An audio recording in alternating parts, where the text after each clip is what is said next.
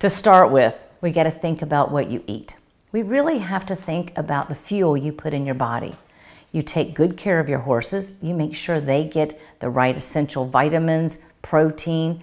You know, you take really good care of your horses. Now, let's look at you. Healthy eating. Eating whole, healthy foods. I know meals are important. I know making sure you get protein at breakfast, lunch, and dinner is important. But what I've learned about really producing our personal best, our brains, our brains need protein. Now, I'm not a nutritionist, so this is just healthy hints that I'm giving you. I'm giving it because I've learned it. This is what I have to do. And I've shared this with so many equestrians and executives and sports people, anybody that I help, I really do go over this. Because if I teach you how to use your brain, we need to know your brain gets the fuel. Fuel, that's what you need. I have a suggestion for you. Learn how much protein you need. There's a website, it's called premierprotein.com. If you go there, there's a calculator on it. It'll give you a guesstimate of how much protein you need. I need 80 grams to sit all day and work and hypnotize people all day for my brain to function. So when you ride and when you show, please, please make sure you utilize this information and get that protein. I use the Premier Protein Shake because it's liquid, it's in a little container, and I can take it with me everywhere. I have one here while I'm recording today. It's important. So think about that and just find a way to add that to your equation. The next thing that I found in helping so many people is that we have to let go of fear and anxiety. You know, what is fear? Is it real or imagined? in your mind, since your imagination is stronger than knowledge, sometimes your fear does turn into the imagination, making it bigger. Now, I know there's a certain element of riding a horse. I've ridden horses since I was a little girl. I've ridden horses my whole life. I'm not taking away the natural instinct of self preservation to make good decisions. I want you to realize what's a fear that is not real, that you're making it into something. What triggers your fear? Is it being in the indoor ring and the windows, the big open doors? Is it because the last place you were, there were birds that flew in and bothered you? Was it something that happened in the past and you brought it to the future? Or is it your preconceived idea in the future what woulda, coulda, shoulda, could happen? Evaluate that and work on releasing that. Anxiety, where do you feel it? What is anxiety? You got to see where you feel it. Is it in your chest? Is it in your back, your neck? And then when you feel, know where it is, and you can go and minimize it and use some techniques to release it. There's one really good one, it's called bilateral stimulation, where you toss something from one hand to the other. What you're doing is by tossing something from one hand to the other, you're creating a dialogue with the brain. It goes from left side to the right side, left side to the right side. And that will stop the anxiety. But if you're in the saddle and you have your hands on the reins, just imagine relaxing your right hand, your right shoulder, your left shoulder, your left hand, and breathe. That will help also. These things will help you utilize the ability to eliminate and let go of fear and anxiety. When you're going through these things and you're working on riding, taking lessons, are you showing or just doing it for pleasure, or you're professional and you're teaching it, however it is, whatever you're doing, I want you to focus on solutions, not the problem. Because when we focus on the problem, it's that imagination making it bigger but we want to see a solution. Each obstacle is an opportunity. You're learning. What you know is what you know, and what you don't know is what you don't know. Isn't that a phenomenal statement? But it's so true. Creating a solution is a mindset. But the secret here is the brain will produce a solution if you ask it. If you're learning something new and your trainers really attempting to teach you and going over and over and you're just not getting it, ask your trainer, your teacher, what's the solution to help me learn this better? Am I auditory? Am I visual? Am I kinesthetic? Am I not comprehending it? That's why my brain's not producing it. Kind of get to that point to see, find that solution to what you need. Now, the next one is very important. This one is something I hear a lot. People take so many things personally. Oh, who's watching? Avoid taking it personally. Avoid lashing back at someone. When you take it personally, you know, you, you're thinking that other person is really thinking about you. Most of the time, most people are focused on themselves. It's a really honest truth. There's some statistics out there, you can Google it. Most of the time, it isn't even about you. Maybe they're watching you because you're their role model. Ever thought of that? That you're actually doing something well or you look really good? How about being somebody's role model by avoiding taking things personally?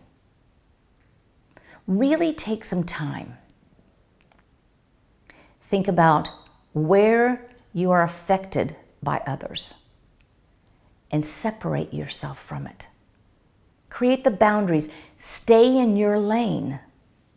To be your personal best, be in your lane and allow yourself to be who you are because there's nobody else you can be. Have you ever thought of that? You are who you are. You're perfect enough right now. And you need to keep that mindset of knowing that's what you're doing. As you go through all these suggestions I'm making, the mental image, the role modeling I mentioned, find your role model. Choose a role model. If you're working on a certain discipline movement or a certain thing, YouTube the best and see it and memorize it and see yourself being in that. Create and use the mental imaging detail. Be specific and realistic.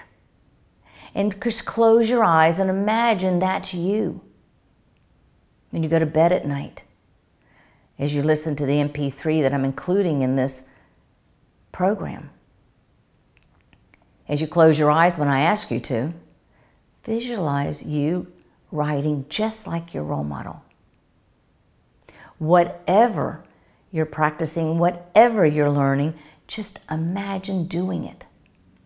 Have you ever heard that statement, fake it till you feel it or fake it till you make it? Role modeling is a, a part of that.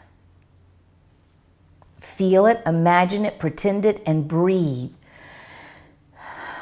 Breathe while you're doing it because you're creating it. Your brain doesn't know the difference between real and imagined. So, guess what you're doing? You're creating the roadmap in your brain to do it. You invest so much in your horses, in your training, in every your time. Now invest in your brain. Use your brain. Because to do this, there's something really important Learn self discipline.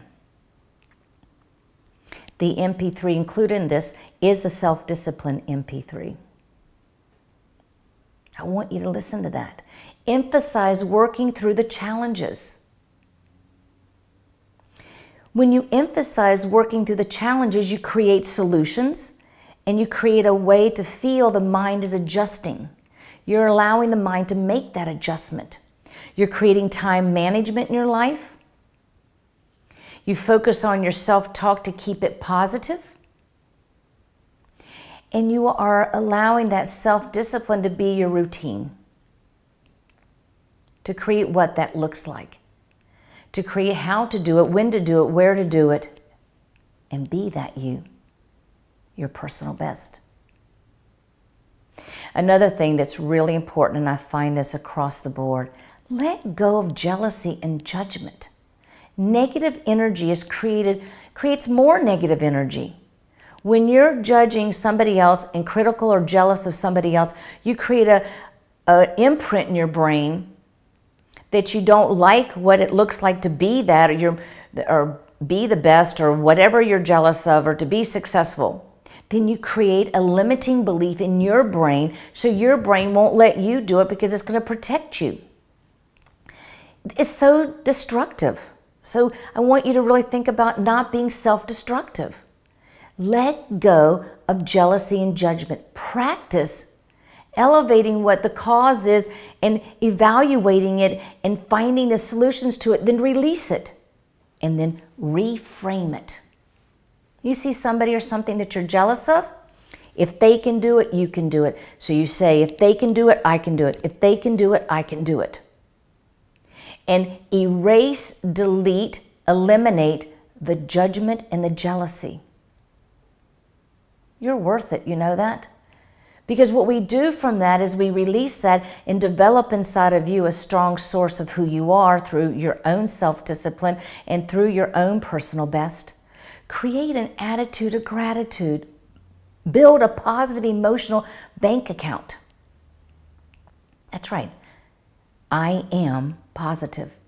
I am healthy mentally, physically, and emotionally. Happiness is contagious and will show in your performance happiness, joy.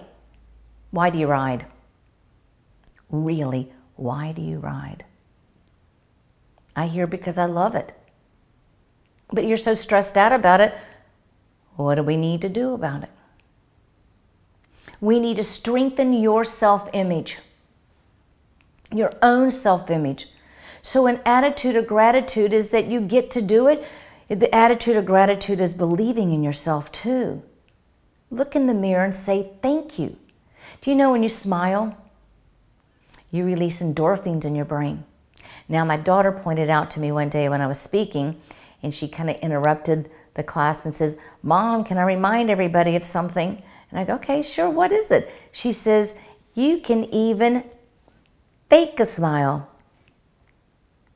Do you know it releases the same amount of endorphins?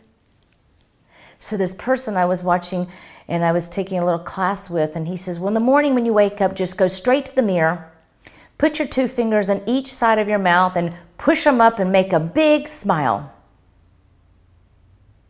And then look in the mirror and see you smiling. Really allow that mindset to strengthen your own self image. That's right.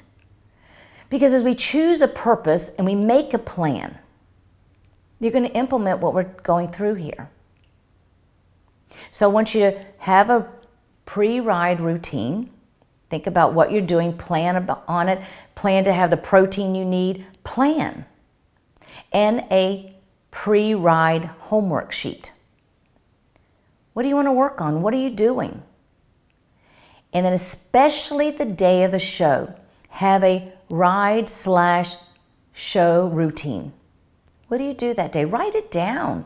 Imprint it in your brain to what you need. As you go through all of this, you're going to develop some really good, strong self discipline patterns. Consider the type of training and creative new habits, thoughts, and actions and speech toward what you're doing and improving, improving yourself and reaching your goals. Letting a goal become an outcome. Let it be what you do. An outcome is something that you create. You have a goal, and sometimes goals just keep floating. I always have a goal, but I want to produce it as an outcome. And be make sure your tasks are created and selective toward what you want. Write it down. Get a calendar. Chunk your time and write it down when it's important. Now, these things are going to help you. These are essential tools in being your personal best. I guarantee them. Remember, with the help of what I'm teaching you here, I want you to also know that the free hypnosis MP3 I'm giving you is incorporating hypnosis, achieving anything you want through hypnosis because it's there to help you. It's helping you reprogram your 88% hard drive. If you need your computer to do something, you've got to install the program to do it, don't you? So help yourself. My gift to you is the Self Discipline MP3 because I want you to be your personal best. I really do. I really want you to be who you want to be because every day is better than the day before and you're special. You are a very special person. There is no one on this earth exactly like you. Be that you. See yourself in the mirror every morning and say something positive about yourself. Remember that you are perfect enough and avoid judging yourself. Have a great day. Remember, I'm here with you, and if you need me, I will always be here. Enjoy your life because you're worth it.